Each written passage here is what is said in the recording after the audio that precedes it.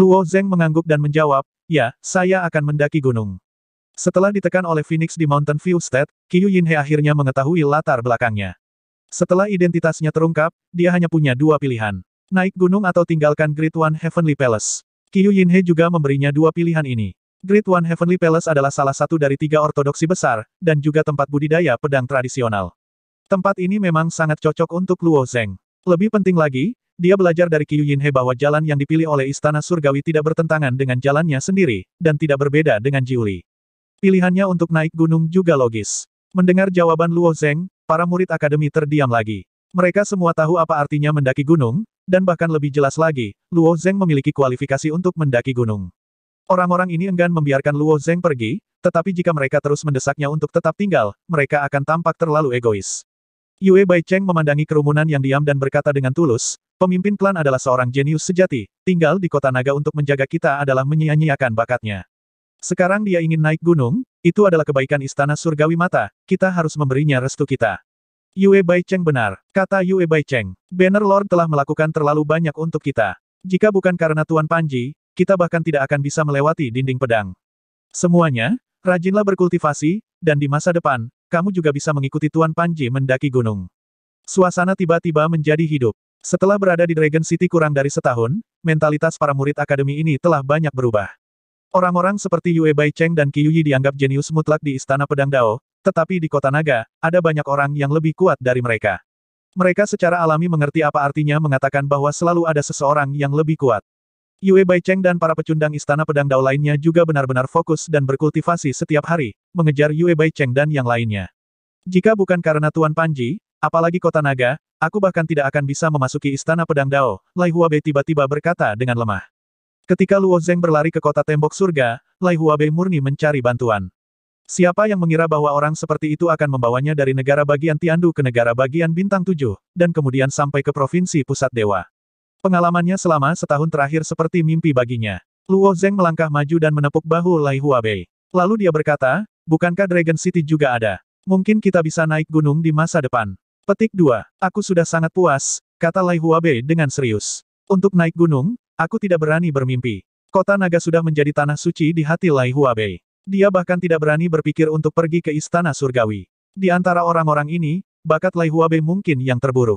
Memang sangat sulit baginya untuk mendaki gunung. Sebelum ini, apakah kamu pernah berpikir untuk kembali ke Dragon City sendirian? Luo Zeng bertanya. Lai Huabei menggelengkan kepalanya. Dia tidak pernah membayangkan bahwa dia akan memiliki pengalaman seperti itu.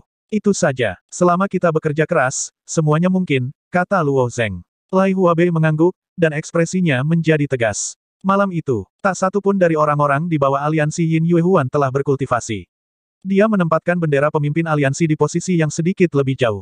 Murid sekolah menyalakan api unggun dan mengepung Luo Zeng, mengobrol sepanjang malam. Yin Yuehuan tampak sedikit diam. Nyatanya, dia memang kaget dengan posisi pemimpin aliansi yang tiba-tiba. Sebagai salah satu dari tiga pemimpin Panji di luar kota naga, dia memang memiliki harapan untuk mengambil alih setelah pemimpin aliansi Tong pergi. Namun, pemimpin aliansi Tong tidak cukup kuat. Dia tidak tahu kapan dia akan meninggalkan Dragon City. Lebih penting lagi, Luo Zeng bisa membuat SWOT Comprehension Liquid. Yin Yuehuan pasti tahu bagaimana situ Siu menjadi begitu kuat. Itu adalah kesempatan langka untuk bisa menjual SWOT Comprehension Liquid kepada seorang jenius yang memahami Dao dengan satu pemikiran. Dia tidak bisa menerima bahwa hal yang baik telah terjadi padanya. Pemimpin spanduk Yin, kamu tampak tidak bahagia hari ini. Luo Zeng memperhatikan suasana hati Yin Yuehuan dan tiba-tiba bertanya. Yin Yuehuan berkata, bagaimana mungkin saya tidak senang tiba-tiba menjadi pemimpin aliansi? Saya hanya merasa bahwa semua ini, datang terlalu mudah, seperti ilusi. Ilusi mungkin tidak nyata, kata Luo Zeng sambil tersenyum. Itu benar, setelah saya mendaki gunung, saya harap pemimpin Panji Yin dapat menjaga murid-murid ini, pinta Luo Zeng. Yin Yuehuan mengangguk. Dia secara alami memahami hubungan antara Luo Zeng dan murid-murid ini. Lagi pula, orang-orang ini, dari memasuki tembok pedang hingga berbagai keuntungan, semuanya diurus oleh Luo Zeng. Dia secara alami harus merawat orang-orang ini. Malam berlalu dengan cepat. Meskipun semua orang tidak tidur, mereka masih penuh energi. Setelah fajar, Luo Zeng pergi ke kota naga sendirian. Yue Baicheng dan yang lainnya ingin mengirimnya pergi, tetapi Luo Zeng menolak. Mendaki gunung seperti ini bukan berarti dia akan pergi. Dia akan memiliki banyak kesempatan untuk kembali di masa depan. Di Dragon City, Luo Zeng pergi mencari Wen Xi. Ketika Luo Zeng berkata bahwa dia ingin mendaki gunung, Wen Xi tidak terkejut sama sekali. Tapi menurut prosedur biasa, seharusnya Wen Xi yang merekomendasikannya. Tetapi memikirkan gangguan Qiu Yinhe, Wen Xi merasa bahwa dia harus melapor ke Qiu Yinhe terlebih dahulu. Tetapi setelah melihat token pedang emas yang ditunjukkan Luo Zeng, Wen Xi tahu bahwa tidak perlu melapor. Ikut aku, kata Wen Xi. Di bawah pimpinan Wen Xi, keduanya meninggalkan kota naga dan langsung pergi ke gunung satu besar. Gunung besar ini seperti binatang raksasa yang telah merayap selama bertahun-tahun. Itu telah menjaga tempat ini selama bertahun-tahun, dan tingginya hampir mustahil untuk diukur. Keduanya naik di sepanjang jalur gunung. Meskipun kecepatan mereka sangat cepat, setelah mendaki untuk waktu yang lama, ketika mereka melihat ke belakang, meskipun kota naga sangat kecil sehingga dapat diabaikan, mereka masih tampak berada di kaki gunung. Setelah beberapa jam, keduanya akhirnya sampai di tengah gunung. Luo Zeng mengikuti Wen Xi ke istana yang bersih. Wen Xi menyuruhnya menunggu di pintu sementara dia masuk lebih dulu. Saat Wen Xi keluar, ada seorang pria parubaya berjubah putih di sisinya. Orang ini bernama Gu Chen. Semua murid yang naik gunung diperiksa olehnya, dan Wen Xi hanya bertanggung jawab atas rekomendasi tersebut. Gu Chen melirik token Luo Zeng, lalu mengangguk dan berkata, ini benar-benar token pedang dari Tian Jiedusi. Kemudian dia berkata ke jalan yang menuju ke atas gunung, dari sini, kamu harus mendaki gunung sendiri. Jika kamu menemui masalah di jalan, kamu harus menghadapinya sendiri. Di puncak, secara alami akan ada jadilah seseorang yang menerimamu. Jalan mendaki gunung tidak pernah mudah dilalui. Wensi telah merekomendasikan banyak orang, tetapi mereka yang benar-benar bisa memanjat tidak lebih dari 10 atau 20 orang. Dengan kemampuanmu, kamu hanya perlu sedikit lebih berhati-hati di jalan, kata Wen Si sambil tersenyum. Terima kasih atas pengingat Anda, Penatua Wen. Luo Zeng menggenggam tangannya. Gu Chen menatap Wen Si dengan heran dan berkata, Wen Si begitu percaya pada orang ini. Meskipun Luo Zeng memiliki token pedang Qiu Yinhe, itu hanya karena Qiu Yinhe menyukai orang ini. Sejak zaman dahulu, sudah banyak orang yang mendaki gunung. Siapa yang bisa menjamin bahwa mereka pasti bisa mencapai puncak? Seseorang yang direkomendasikan oleh Qiu Yinhe tentu saja tidak biasa, kata Wen Si sambil tersenyum. Setelah diperingatkan oleh Qiu Yinhe, dia secara alami tidak akan mengungkapkan terlalu banyak informasi tentang Luo Zeng. Gu Chen menggelengkan kepalanya. Kurasa tidak, beberapa Tian Jiedusi telah merekomendasikannya. Orang-orang yang berhubungan dengannya seharusnya tidak tampil terlalu buruk. Banyak dari mereka telah berguling menuruni gunung. Visi mereka tidak dapat dibandingkan dengan Wensi, setelah Luo Zeng pergi, Gu Chen berkata kepada seorang pelayan di istana, bawakan aku disformasi jalan kuno naga melingkar. Petugas memasuki istana, dan ketika dia kembali, dia menyerahkan piringan formasi kuno kepada Gu Chen. Dari lereng gunung hingga puncak, jalan ini disebut Jalan Kuno Naga Melingkar. Itu sudah ada sejak awal pembangunan Istana Surgawi. Ada formasi besar yang tak terhitung jumlahnya dengan niat membunuh yang berat di jalan kuno. Misalnya, pedang merampok gunung, pedang gunung jatuh, dan formasi pedang lainnya. Formasi besar seperti itu adalah fondasi untuk melindungi istana surgawi yang lebih besar. Tentu saja, piringan formasi dari formasi pedang ini tidak dikendalikan oleh Guchen. Disformasi di tangan Guchen hanya digunakan untuk mengontrol formasi gunung awan pemurnian. Formasi ini hanya dibangun untuk menguji para pendaki. Pada awalnya, Istana Surgawi tidak membangun kota naga. Jika seseorang ingin memasuki Istana Surgawi, seseorang harus langsung mendaki gunung. Setiap hari, ada banyak orang yang mendaki gunung, dan ada ratusan ribu orang yang berguling menuruni formasi Cloud Mountain setiap hari. Belakangan, kota naga dibangun, dan menjadi sangat sulit untuk mendapatkan kualifikasi untuk mendaki gunung. Orang ini hanya berada di surga pertama alam nirvana. Menurut aturan, tingkat kesulitan ke-8 sudah cukup, kata Guchen. Tingkat ke-8, Wensi tertegun. Guchen melirik Wensi, dan langsung bertanya, Kakak Wensi, apakah menurutmu itu masih sulit? Disformasi ini dapat menyesuaikan tingkat kesulitan formasi Cloud Mountain, dan level ke-8 sudah menjadi level terendah. Menurut kesulitan kultivasi Luo Zeng, itu sangat konsisten. Wensi tersenyum, jika Tuan Gu memberikan tingkat kesulitan ke-8, kecepatan Luo Zeng mendaki gunung hari ini mungkin akan memecahkan rekor. Gu Chen berpikir sejenak, lalu berkata, Kakak Wensi, karena kamu sangat memikirkan orang ini, aku akan memberikan tingkat ketujuh. Kali ini, Wensi tidak berbicara. Bagi Luo Zeng, berjalan di jalan kuno naga melingkar hanyalah formalitas. Selama dia bisa mendaki gunung, itu akan baik-baik saja. Faktanya, Wen Xi berpikir bahwa kultivasi Luo Zeng ada di surga pertama alam nirvana. Bahkan jika dia berada di surga kelima atau keempat, itu tidak akan menjadi masalah baginya. Jika dia berada di surga ketujuh atau kedelapan, itu tidak akan menjadi masalah bagi Luo Zeng. Segalanya memang seperti yang dibayangkan Wen Xi. Setelah Gu Chen mengaktifkan Araidis, jalan kuno naga melingkar di atas gunung bersinar dengan cahaya terang. Jalan kuno ini seperti naga melingkar yang bercokol di gunung, berkelok-kelok dan panjang. Bagi mereka yang berada di surga tingkat pertama, paling cepat mereka dapat mendaki gunung di tingkat kesulitan ketujuh adalah 12 jam. Aku sudah mengaktifkan arai penyulingan gunung berkabut, hem. Setelah Gu Chen mengaktifkan Arai Dis, jejak kecurigaan muncul di matanya. Berbicara secara logis, kecepatan Luo Zeng akan turun tajam saat Arai Dis diaktifkan. Namun, dari susunan cakram, Gu Chen dapat melihat bahwa kecepatan kenaikan Luo Zeng tidak terpengaruh sedikit pun.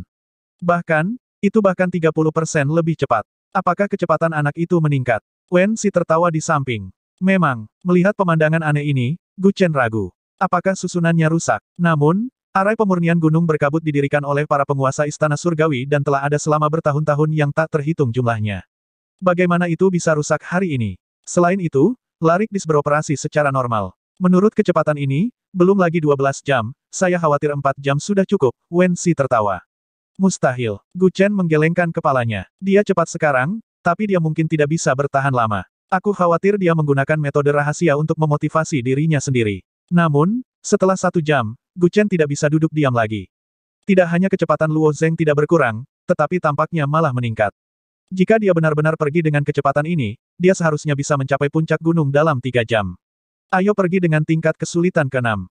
Chen mengontrol Araidis lagi. Memberikan tingkat kesulitan ke-6 untuk surga pertama alam nirvana sudah memberikan banyak rasa hormat pada Luo Zeng. Ketika Chen meningkatkan kesulitan satu tingkat, dia dengan jelas melihat sosok Luo Zeng berhenti sejenak, dan kecepatannya sedikit melambat. Namun, setelah beberapa saat, kecepatannya kembali normal, dan dia terus mendaki dengan gila-gilaan. Chen tampak tercengang. Dia meraih Araidis dan mengguncangnya. Dia benar-benar mengira susunan dis rusak. Kakak Wensi, dari mana anak ini berasal? Chen akhirnya mengerti dari mana kepercayaan diri Wensi berasal. Bukankah kamu menunjukkannya pada Tuan Gu? Token pedang itu milik Tuan Qiu, kata Wensi. Chen menggelengkan kepalanya. Dia telah berada di istana gunung berkabut selama bertahun-tahun, dan sekarang dia secara alami menyadari bahwa Luo Zeng luar biasa. Kalau begitu, kesulitannya harus dinaikkan satu tingkat. Saat dia berbicara, dia mengendalikan susunan dis lagi dan meningkatkan kesulitannya ke tingkat kelima. Namun, di jalan naga melingkar kuno, sosok Luo Zeng masih sedikit berhenti, seolah-olah dia telah beradaptasi dengan kesulitan itu lagi. Kecepatannya kembali normal dalam sekejap. Petik 2, petik 2. Gu Chen memandangi sosok Luo Zeng di dis arai, dan untuk sesaat, dia terdiam. Kesulitan pada arai dis telah menjadi hiasan saat ini. Hari ini, saya akan membuka tingkat kesulitan keempat untuk junior surga pertama. Jika dia tidak bisa lulus, saya akan melaporkannya apa adanya dan secara pribadi mengirimnya ke atas gunung. Ekspresi Gu Chen menjadi serius. Dia tidak percaya pada ajaran sesat, jadi dia menguatkan hatinya dan menyesuaikan susunan dis ke tingkat kesulitan keempat.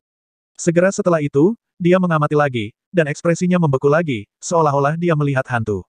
Wen Xi melihat ekspresi Gu Chen dan memaksakan senyum, tanpa mengucapkan sepatah kata pun. Untung saja dia memakai topeng. Bahkan jika dia tersenyum, Gu Chen tidak akan tahu. Wen Xi sudah tahu bahwa ini akan menjadi hasilnya. Kali ini, Gu Chen diam-diam mengontrol Larik Dis dan segera menyesuaikannya ke tingkat ketiga. Surga pertama dan tingkat kesulitan ketiga sudah merupakan ujian yang sangat sulit. Saat itu, Mo Yijian juga telah menaiki jalur naga melingkar kuno dengan basis kultivasi surga pertama. Pada saat itu, orang-orang dari Sekte Pedang Aliran Jantung telah diberi tingkat kesulitan tingkat ketiga oleh Gu Chen, dan kemudian menyesuaikannya ke tingkat kedua. Meski begitu, mereka tidak bisa menghentikan Mo Yijian. Namun, Mo Yijian adalah seorang jenius yang telah memahami Dao dengan satu pemikiran. Seluruh istana surgawi menganggapnya sebagai harta karun. Jenius seperti itu sama sekali tidak perlu takut dengan jalan naga melingkar kuno. Sekte pedang aliran jantung hanya membawa Mo Yijian ke sini karena iseng. Karena keinginan ini, dia telah meninggalkan rekor yang belum pernah terjadi sebelumnya. Ingin Gu Chen memperlakukan Luo Zeng sebagai Mo Yijian. Ini tidak mungkin. Di bawah tingkat kesulitan ketiga, kecepatan pendakian Luo Zeng memang melambat. Alasan mengapa dia memanjat begitu cepat adalah karena Luo Zeng benar-benar mengabaikan pedang terbang yang menusuk wajahnya. Tidak peduli bagaimana pedang terbang ini menebasnya, mereka tidak bisa melukai tubuhnya sama sekali. Melihat bahwa dia hanya sepertiga jalan menuju puncak gunung, kekuatan pedang terbang ini semakin meningkat. Luo Zeng tidak punya pilihan selain mengeluarkan energi untuk menghancurkan mereka dan sesekali menghindarinya. Untuk mendaki ke puncak gunung lebih cepat, pikiran Luo Zeng sedikit bergerak. Lapisan bintik-bintik hitam muncul di bawah lengannya, yang ditutupi oleh pakaiannya. Menggunakan tangannya untuk melindungi kepalanya, kecepatannya meningkat secara eksplosif sekali lagi. Pedang terbang jatuh seperti hujan, mengandung beberapa kali lebih kuat dari pagoda pelatihan pedang. Namun, ketika mereka membombardir lengan Luo Zeng, itu hanya menyebabkan tangannya mati rasa. Kecepatan saya, telah pulih. Jejak kepanikan muncul di mata Gu Chen. Ini jelas merupakan hasil yang tidak dia duga. Kali ini, Bahkan Wen Si agak terkejut, Wen Si melihat Gu Chen menatapnya dan berbicara lebih dulu. Aku tidak tahu banyak tentang Luo Zeng. Dia sudah melewati tingkat ketiga dari pagoda pelatihan pedang, dan terakhir kali dia bertarung dengan Mo Yijian. Bagaimana hasilnya? Tanya Gu Chen. Dia kalah, kata Wensi. Mo Yijian sudah lama berada di gunung, dan kultivasinya lebih tinggi dari Luo Zeng. Itu normal baginya untuk kalah. Tapi saya tidak bisa melihat potensinya, kata Gu Chen dengan ekspresi rumit. Dia mengangkat pelat formasi lagi. Jika dia bisa melewati tingkat kesulitan kedua, dia akan sebanding dengan Mo Yijian. Apa menurutmu itu perlu? Wensi mungkin melindungi Luo Zeng, tapi dia membantu Qiu Yinhe. Tidak peduli bagaimana dia melihatnya, Luo Zeng memenuhi syarat untuk langsung naik. Dia juga ingin tahu tentang kekuatan Luo Zeng. Tuan Gu, tolong buat keputusanmu sendiri. Wensi memberi isyarat agar dia melakukan apa yang dia suka. Jika dia menyakiti Luo Zeng atau membuatnya marah, dan Qiu Yinhe menyalahkannya, Wensi tidak akan tahan. Dia tidak ingin Gu Chen menyalahkannya. Gu Chen menyaksikan Luo Zeng secara bertahap pulih. Dia mengertakkan gigi dan mengendalikan pelat formasi lagi. Formasi Cloud Mountain di Coiling Dragon Ancient Road hanya bisa mencapai tingkat kesulitan ketiga. Tingkat kedua ditambahkan kemudian, dan meminjam kekuatan formasi ilusi batang surgawi. Jadi ketika tingkat kesulitan kedua diaktifkan, formasi ilusi batang surgawi juga diaktifkan. Us, untuk sesaat, jumlah pedang terbang yang ditembakkan ke arah Luo Zeng meningkat. Karena itu hanya pedang terbang, tidak ada yang perlu ditakuti. Dia masih memegang kepalanya dan bergerak maju dengan kecepatan tinggi. Tetapi beberapa pedang terbang itu meledak ketika mengenai tangannya. Bang! Bang! Pedang terbang ini mengeluarkan awan asap, yang kemudian berubah menjadi rantai. Di bagian bawah rantai tergantung beban besar berbentuk kerucut. Berat ini, sangat berat. Setiap beban memiliki kekuatan dari satu senjun. Dengan kata lain, sebelum Luo Zeng memasuki istana surgawi, akan sulit baginya untuk mengangkat beban ini. Formasi ilusi batang surgawi selalu berubah. Ini hanyalah salah satu perubahan. Jika dia bertemu Jinwu atau formasi seni bersayap, dia bisa mengandalkan formasi ini, dia bisa menyeret gagak emas yang tak terhitung jumlahnya menuruni gunung. Menggantung dua atau tiga beban tidak menimbulkan masalah bagi Luo Zeng. Tapi seperti pedang terbang, berat, berat, berat, berat, tentu saja, berat, tentu saja, berat itu. Dalam setengah waktu dupa, sudah ada 50 hingga 60 beban yang tergantung di belakang Luo Zeng. Tentu saja, kecepatannya melambat. Saya, di sana, Apakah? Apakah adalah? Adalah merasa adalah adalah adalah adalah. Tanpa ragu-ragu, Luo Zeng mengeluarkan pedang salju dan menebas rantainya. Logam dan besi berbenturan, tapi suara garing tidak keluar. Sebaliknya, itu tampaknya telah menebas udara. Formasi ilusi ini tidak dapat dipatahkan dengan kekerasan, Luo Zeng tiba-tiba mengerti. Rantai dan pemberat ini tidak benar-benar ada, tetapi pasukan Jun ketuhanan yang mereka gunakan adalah nyata. Bang, bang. Sementara dia ragu-ragu, lebih banyak pedang meledak di depannya. Terjerat oleh rantai, Luo Zeng setengah. Lebih dari seratus beban tergantung di belakangnya. Pada saat ini, hampir mustahil baginya untuk bergerak. Di Cloud Mountain Palace, Gu Chen tertawa, Mo Yijian juga terjebak untuk waktu yang lama. Tapi bagaimanapun, anak itu jenius. Dengan Mind Sword, dia mengabaikan ilusi dan secara paksa menghancurkan formasi ilusi. Jika Luo Zeng bisa jangan hancurkan, aku khawatir dia tidak akan bisa naik gunung. Tetapi Gu Chen sebelumnya berjanji bahwa bahkan jika Luo Zeng terjebak dalam kesulitan tingkat kedua, dia secara pribadi akan mengirimnya ke atas gunung. Lagi pula, apa yang mereka lakukan sekarang memang mempersulit Luo Zeng. Bang, bang, bang. Semakin banyak pedang terbang tergantung di tubuh Luo Zeng. Tidak lama kemudian, ada lebih dari seratus. Dengan kekuatan Shen Jun yang begitu kuat, bahkan jika mereka hanya tergantung di tubuhnya, tubuh Luo Zeng masih agak tidak tahan. Di bawah kekuatan yang sangat besar, tulangnya berderit. Formasi ilusi semacam ini tidak dapat dipatahkan dengan cara biasa. Karena seperti ini, alisnya naik sedikit. Mata pikiran di dunia di dalam tubuhnya sedikit bergetar. Mata kanannya tiba-tiba mengeluarkan cahaya putih pucat. Dunia di dalam mata kanannya telah berubah bentuk. Pedang terbang itu bukan lagi pedang terbang, tapi jimat yang terbang ke arahnya. Begitu jimat ini mendekatinya, mereka tiba-tiba terbakar, berubah menjadi awan debu. Kemudian, tanpa ada yang memperhatikan, mereka menempel di punggungnya. Tapi di mata Luo Zeng, jimat yang menempel di punggungnya telah menjadi beban yang berat. Jadi begitu, sudut mulut Luo Zeng naik sedikit. Dia mengulurkan tangannya dan mengangkat jimat di punggungnya satu persatu. Bang, bang, semburan asap putih meledak. Jimat itu dengan cepat terbakar dan berubah menjadi abu. Adapun, bobot, yang dilihat Luo Zeng di mata kirinya, mereka secara alami menghilang satu persatu. Setelah beban menghilang, Luo Zeng langsung merasa rileks. Dia dengan lembut meregangkan tubuhnya. Seluruh tubuhnya sekali lagi berubah menjadi seberkas cahaya, melaju di sepanjang jalan kuno naga melingkar. Luo Zeng melihat dunia nyata dengan satu mata. Jimat melayang ke arahnya. Dengan mata yang lain, dia melihat formasi ilusi, dan pedang terbang ditembakkan ke arahnya. Hancurkan untukku. Pedang panjang bersalju dengan lembut menunjuk, berubah menjadi serangkaian sinar pedang halus. Sinar pedang ini jatuh, menyentuh jimat dan langsung memelintirnya menjadi berkeping-keping. Formasi ilusi ini hampir tidak berpengaruh pada Luo Zeng. Oleh karena itu, tingkat kesulitan kedua lebih mudah bagi Luo Zeng daripada tingkat kesulitan ketiga. Dia mendaki gunung seperti ini seolah-olah dia sedang berjalan di tanah datar. Kecepatan, kecepatan Luo Zeng. Di Cloud Mountain Palace, Guchen dan Wen si sama-sama tercengang. Dari saat Guchen mengaktifkan tingkat kesulitan kedua hingga waktu Luo Zeng melarikan diri dengan kecepatan pemulihannya, butuh waktu kurang dari waktu yang dibutuhkan untuk membakar dua batang dupa. Formasi ilusi batang surgawi tidak mengganggunya sama sekali. Ada perbedaan mendasar antara formasi ilusi batang surgawi dan formasi penyempurnaan gunung awan. Formasi penyempurnaan gunung awan hanya digunakan untuk penilaian, tetapi formasi ilusi batang surgawi digunakan untuk bertahan melawan musuh.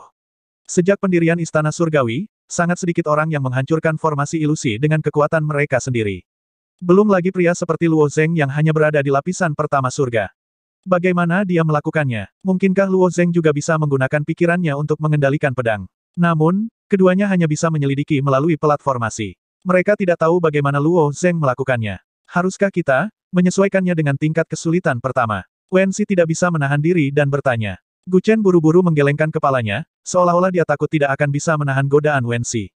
Dia menutupi pelat formasi. Tingkat kesulitan pertama dapat menyebabkan kematian. Dengan kinerja Luo Zeng, jika sesuatu terjadi padanya di jalan kuno naga melingkar, saya khawatir Tuan Qiu akan membunuh saya. Saudara Wensi, jangan buang waktu saya. Aku hanya memberi saran. Wensi mengangkat bahu dan tersenyum, setelah keluar dari Coiling Dragon Ancient Road, sebuah gerbang gunung muncul di depan Luo Zeng. Melihat gerbang gunung ini, Luo Zeng agak heran. Gerbang gunung ini terdiri dari dua potong kayu yang tahan cuaca, dengan sebuah plakat yang ditutupi retakan yang tergantung di atasnya. Sudah lama rusak, dan kata-kata di plakat sudah hilang, tergantung di sana telanjang. Siapa yang mengira bahwa gerbang istana surgawi yang lebih besar yang bermartabat akan begitu bobrok? Luo Zeng melewati plakat dan terus maju. Jalan gunung bercabang menjadi tiga jalur. Ketiga jalur ini diaspal rapi dengan batu bata. Yang aneh adalah batu bata di lima jalur ini semuanya berbeda. Jalan setapak di sebelah kiri terbuat dari batu bata biru yang lebar dan tebal. Batu bata ditutupi dengan ukiran gunung dan sungai, memberikan kesan megah. Jalan di sebelah kanan terbuat dari batu bata hitam. Tidak diketahui terbuat dari apa batu bata ini, tetapi sangat padat dan memancarkan aura kuno. Jalan di tengah terbuat dari batu merah halus. Itu cepat dan gesit, samar-samar mengandung niat tajam. Tapi melihat jalan di depannya, Luo Zeng agak ragu-ragu. Bukankah mereka mengatakan bahwa begitu dia naik gunung, secara alami akan ada seseorang yang menyambutnya? Kenapa dia tidak melihat satu orang pun? Melihat tiga jalur dan merenung sejenak, Luo Zeng memiliki jawaban di dalam hatinya. Ujian mendaki gunung belum usai. Ketiga jalur ini harus menjadi pilihan, Pilihan yang tidak memberinya petunjuk apa pun. Setelah berpikir sejenak, Luo Zeng membuat pilihannya. Dia memilih jalur batu bata merah. Setelah melewati jalan ini, Luo Zeng menaiki tangga dan berlari sepanjang jalan. Setelah berjalan lebih dari 20 li di jalan ini, dia tiba di punggung gunung. Setelah melintasi punggungan ini, sebuah plakat lain muncul di depannya. Plakat itu secara mengesankan diukir dengan kata-kata, Sekte Pedang Aliran Jantung. Melihat plakat ini, alis Luo Zeng tanpa sadar terangkat. Pilihannya memang tidak salah. Setelah bertarung dengan Situ Siu, Luo Zeng juga mengembangkan minat pada Sekte Pedang Aliran Jantung. Beberapa aura dari Sekte Pedang Aliran Jantung sangat mirip dengan Dao Dewa Pemutus Emosi yang dikembangkan Luo Zeng. Ini memang jalan yang cocok untuknya. Dia berdiri di bawah plakat untuk sementara waktu. Di belakang plakat, dua wanita berbaju putih dengan santai berjalan mendekat. Salah satu wanita berbaju putih menggenggam tangannya ke arah Luo Zeng, Tuan, apakah Anda Luo Zeng Gongsi Luo? Luo Zeng sedikit mengangguk, benar. Jika Gongzi Luo Gongzi memilih sekte pedang aliran jantung, kamu bisa ikut dengan kami. Tapi sekarang, kamu masih memiliki kesempatan untuk berubah pikiran dan memilih salah satu dari dua jalur lainnya, kata wanita berbaju putih itu. Dua jalur lainnya adalah, yang di kiri adalah sekte pedang pembunuh, dan yang di kanan adalah sekte pedang formasi absolut, kata wanita berbaju putih itu. Tiga pertigaan di jalan itu hanya untuk mereka yang mendaki gunung untuk mempertimbangkan sesuka mereka. Namun, jika mereka benar-benar tidak menyukainya, mereka masih bisa kembali. Dua sekte pedang Luo Zeng, Luo Zeng, dan Luo Zeng sekte pedang Luo Zeng. Apa perbedaan antara ketiga sekte pedang itu? Luo Zeng bertanya. Ini bukan pertama kalinya wanita berjubah putih dihadapkan pada pertanyaan ini. Wajah cantiknya memiliki sedikit senyum saat dia berkata, sekte pedang pembunuh terutama mengolah pedang pembantaian. Mereka mengejar metode terkuat untuk melukai musuh agar dapat dengan cepat memusnahkan ras asing. Sekte pedang formasi absolut terutama mengolah pedang himpunan. Bagaimana dengan sekte pedang aliran jantung? Luo Zeng bertanya lagi, maumu? Jawaban wanita berpakaian putih itu sangat sederhana. Luo Zeng telah mencoba-coba formasi pedang dan pembantaian sebelumnya. Tapi setelah mendengar jawaban wanita itu, Luo Zeng tidak ragu dan berjalan melewati plakat itu. Kedua wanita berbaju putih memimpin jalan. Di kedua sisi jalan ada deretan pohon lurus. Itu diam di sekitar. Tidak ada satu orang pun yang terlihat. Sepertinya tidak banyak orang dari Sekte Pedang Aliran Jantung. Luo Zeng bertanya. Ada beberapa, tetapi semua orang fokus pada kultivasi. Gongzi secara alami tidak dapat melihat siapa pun, jawab wanita berbaju putih itu. Luo Zeng mengangguk dan diam-diam mengikuti di belakang kedua wanita berbaju putih. Panjang jalan itu 10 li. Setelah melewati jalan setapak, ada banyak halaman berbentuk sumur. Halaman-halaman ini terhubung satu sama lain dan padat, membentuk kota kecil yang indah. Tampaknya memang ada banyak orang dari Sekte Pedang Aliran Jantung. Jarak antara halaman ini hanya selebar seseorang. Kedua wanita itu memimpin Luo Zeng melewati gang-gang sempit. Sepanjang jalan, Luo Zeng juga melihat beberapa wanita berbaju putih. Kebanyakan dari mereka cantik dan cantik, dan pakaian mereka polos dan bersih. Tapi Luo Zeng merasa aneh bahwa selain wanita-wanita ini, tidak ada orang lain. Gongzi Luo, kita sudah sampai. Salah satu wanita berbaju putih tiba di pintu masuk sebuah halaman. Dia berbalik dan membungkuk sedikit pada Luo Zeng. Tempat ini, Luo Zeng agak terkejut. Ini halaman Gongzi Luo, kata wanita berbaju putih itu. Terkejut, Luo Zeng mendorong pintu ke halaman. Ada meja panjang di halaman. Di atas meja ada pakaian putih yang terlipat rapi, pedang, token, bahkan sepatu dan topi. Luo Zeng melirik token dan melihat namanya terukir di atasnya. Dia tersenyum dan berkata, Sekte Pedang Aliran Jantung sangat siap. Jika aku tidak memilih, bukankah semua ini akan sia-sia? Itu adalah pilihan Gong Luo. Wanita berbaju putih itu tersenyum tipis. Luo Zeng melihat ke sepanjang meja, dan dia memperhatikan ada dua cincin spasial di atas meja. Luo Zeng mengambil cincin spasial pertama, dan ketika dia memeriksanya, dia menemukan bahwa sebenarnya ada sejuta kristal surgawi di dalamnya. Dia melihat cincin Sumeru kedua. Ada sepuluh token persegi emas di dalamnya. Dia mengeluarkan token persegi dan bertanya, ini adalah token masuk menara aliran jantung. Satu token masuk akan digunakan setiap dua jam di menara aliran jantung. Item ini sangat langka di sekte pedang aliran jantung. Gongzi harus merawatnya dengan baik, wanita berbaju putih dikatakan. Pedang panjang di atas meja bukanlah kelas rendah. Itu adalah mistik Venerable Dao Tracer kelas 2. Ada sejuta kristal surgawi di atas ring, tetapi kedua wanita berbaju putih itu tampaknya tidak peduli. Mereka bahkan tidak berinisiatif untuk memperkenalkannya. Satu-satunya hal yang mereka tekankan adalah token masuk. Sepertinya item ini memang sangat penting. Sekte pedang aliran jantung sangat murah hati. Apakah setiap orang yang bergabung dengan sekte mendapatkan perlakuan seperti itu? Luo Zeng bertanya. Wanita berbaju putih itu tersenyum tipis. Mereka yang bisa mendaki gunung dianggap sebagai anggota Istana Surgawi. Perawatan ini hanyalah hadiah kecil. Melihat halaman yang indah ini, Luo Zeng merasa sedikit emosional. Ternyata perbedaan antara kaki gunung dan puncaknya begitu besar. Orang harus tahu bahwa terlepas dari apakah itu Tuan Panji atau Tuan Aliansi, mereka bahkan tidak memiliki tempat tinggal gua, apalagi halaman seperti ini. Hanya ada bendera kosong. Setiap orang berkultivasi dengan bumi sebagai tempat duduk mereka dan langit sebagai selimut mereka. Itu sangat sederhana. Gongzi Luo pasti lelah mendaki gunung. Aku bisa membantumu mandi dan mengganti pakaianmu. Wanita berbaju putih itu berkata dan berjalan ke sisi halaman. Wanita lain berbaju putih pergi merapikan pakaian, sepatu, dan topi di atas meja. Luo Zeng tertegun. Dia memandangi kedua wanita berbaju putih itu dan bertanya dengan rasa ingin tahu, kamu tidak harus melakukan hal-hal ini, bukan? Luo Zeng terkejut ketika dia mendengar wanita berbaju putih menyebut dirinya seorang pelayan. Iya, Pembantu, wanita berpakaian putih itu tersenyum dan mengangguk. Ya, Gongzi Luo bisa memanggilku Xiaoyin. Saya Xiao Xin, wanita lain berbaju putih juga memperkenalkan dirinya. Luo Zeng menggelengkan kepalanya. Aku ingin bertanya, mengapa kamu pelayan? Halaman ini diberikan kepada Gongzi Luo oleh Sekte Pedang. Segala sesuatu di halaman ini secara alami adalah milik Gongzi Luo, begitu juga kami, kata Xiaoyin, mengedipkan matanya. Apakah murid lain dari Sekte Pedang aliran jantung sama? Luo Zeng bertanya. Itu benar. Xiao Yin mengangguk dengan pasti. Luo Zeng tidak bertemu murid lain dalam perjalanan ke Sekte Pedang Aliran Jantung, tetapi dia telah bertemu banyak wanita berkulit putih seperti Xiao Yin dan Xiao Xin. Dia sedikit penasaran pada saat itu, tetapi sekarang dia menyadari bahwa orang-orang ini adalah pelayan dari murid Sekte Pedang Aliran Jantung. Tidak bisakah aku? Luo Zeng bertanya. Karena Sekte Pedang Aliran Jantung telah memberinya halaman yang begitu luas, Luo Zeng bahkan dapat mengundang Ning Yudi dan yang lainnya untuk keluar. Dia sendiri tidak membutuhkan siapa pun untuk merawatnya. Xiao Yin tampak sedikit kecewa. Berita dari Sekte Pedang telah diteruskan, dan ada banyak hal yang perlu kita lakukan. Jika Gongzi Luo tidak membutuhkan kita, aku khawatir akan sulit bagimu untuk beradaptasi di sini. Selain itu, ini adalah tugas kita. Jika Gongzi Luo tidak membutuhkan kita, Xiao Yin dan aku harus turun gunung, kata Xiao Xin. Hati Luo Zeng melembut saat melihat ekspresi sedih kedua wanita itu. Ini adalah pertama kalinya dia di sini dan dia tidak terbiasa. Juga, seperti yang dikatakan Xiao Yin, karena semua orang di sini memiliki pelayan untuk merawat mereka, ada alasan untuk itu.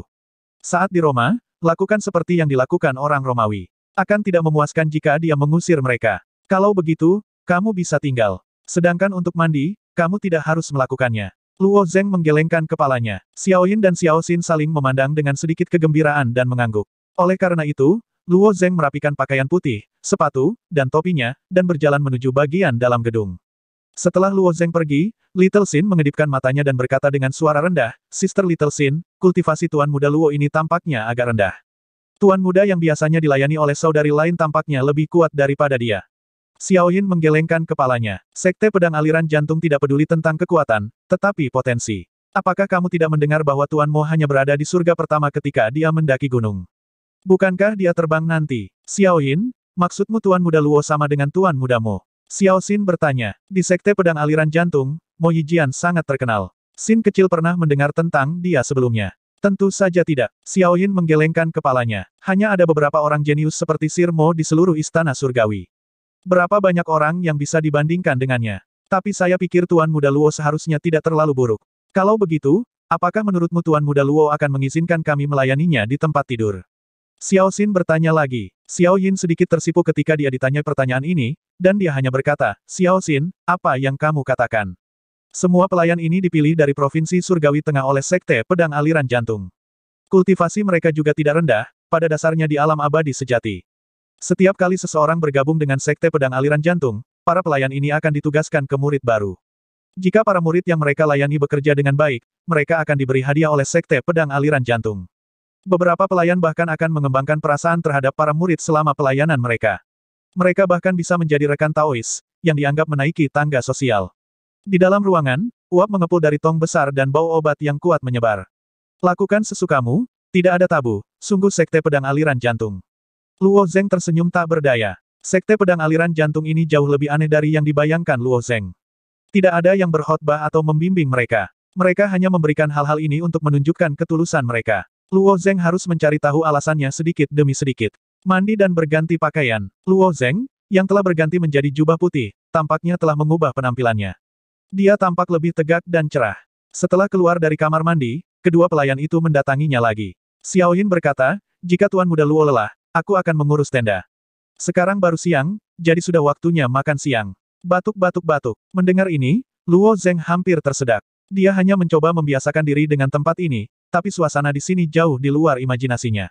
Belum lagi kultivasinya saat ini, bahkan para pejuang yang penuh energi setiap hari tidak perlu istirahat makan siang, bukan? Apakah ini tempat untuk berkultivasi, atau tempat untuk berlibur? Apakah yang lain juga seperti ini? Luo Zeng bertanya. Xiao Yin mengangguk sambil tersenyum. Iya, dia mengharapkan Luo Zeng bereaksi seperti ini. Faktanya, setiap kultivator Nirvana Realem yang masuk ke sini memiliki reaksi yang sama seperti Luo Zeng. Mereka tidak perlu berkultivasi. Luo Zeng bertanya lagi. Untuk sekte pedang aliran jantung, ini adalah kultivasi, jawab Xiao Yin dengan serius. Oke, aku akan melihat trik macam apa ini, kata Luo Zeng. Menurut rencana awal Luo Zeng, dia seharusnya sudah mulai berkultivasi. Dia seharusnya mempelajari pola pedang atau memasuki alam nirvana, tetapi dia tidak melakukan keduanya. Seperti sepatunya di rumah, dia berjalan mengitari halaman kecil. Ketika sudah waktunya makan siang dan malam, dia akan pergi tidur sendirian. Tentu saja, dia tidak perlu tidur. Bahkan berbaring adalah meditasi. Jika pada siang hari, dia akan melangkahi ambang pintu dan berjalan mengitari gang-gang di halaman ini. Satu-satunya orang yang dia temui adalah wanita berbaju putih yang bola-balik. Luo Zeng ingin mencari murid dari sekte pedang aliran jantung untuk bertanya, tetapi suatu hari, dua hari, seminggu telah berlalu, dan dia belum bertemu satupun. Apakah orang-orang ini semua dalam pengasingan? Atau apakah dia satu-satunya di seluruh sekte pedang aliran jantung? Seiring berjalannya waktu, dia menjadi semakin bingung. Oleh karena itu, Luo Zeng memutuskan untuk mengetuk pintu halaman lain dan masuk untuk bertanya. Namun, ketika dia berjalan ke pintu, wanita berbaju putih menutup pintu seolah-olah mereka sedang menjaga dari pencuri. Tentu saja, dia tidak bisa mengetuk pintu dengan tangan terulur. Menggelengkan kepalanya, Luo Zeng hanya bisa berjalan kembali melewati gang. Sepanjang jalan, dia bisa mendengar tawa dan bisikan perempuan di halaman. Dia tidak perlu melihat untuk mengetahui apa yang sedang terjadi di halaman. Wah, tempat apa ini? Pada saat ini, Luo Zeng merasa bahwa tempat ini bahkan lebih berbahaya daripada tempat berbahaya yang pernah dia kunjungi. Dia melengkungkan bibirnya dan kembali. Luo Zeng tidak bisa membuang waktu yang baik ini. Dia bahkan merindukan hari-hari di Dragon City. Karena tidak ada yang memperhatikannya, dia menemukan ruangan yang sunyi di halaman rumahnya dan memasang susunan pembatas. Dia mulai mempelajari seni pola pedang dalam pengasingan. Setelah berkultivasi seperti ini selama setengah bulan, Luo Zeng keluar dan memberikan cincin Sumeru kepada Xiao Yin. Dia meminta Xiao Yin untuk memberikannya kepada Yin Yue Huan di kota naga. Cincin Sumeru diisi dengan SWOT Comprehension Liquid. Sebelum mendaki gunung, Luo Zeng telah setuju bahwa Yin Yuehuan akan mengambil 30% keuntungan dari SWOT Comprehension Liquid, 70% lainnya akan diberikan kepada Luo Zeng dan akan diisi ulang sebulan sekali. Xiao Yin sangat bertanggung jawab, hanya butuh satu hari baginya untuk mengembalikan cincin Sumeru. Luo Zeng menghitungnya, ada hampir 20 juta kristal surgawi di dalamnya. Tuan Muda Luo, apa yang ada di cincin Sumeru? Kelihatannya sangat misterius, tanya Xiao Yin. Hanya beberapa hal biasa. Luo Zeng mengangkat bahu. Dia secara alami tidak akan memberitahunya tentang SWOT Comprehension Liquid. Cerita bersambung, terima kasih yang telah menonton. Jangan lupa like, comment, and subscribe guys, karena subscribe itu gratis. Bye.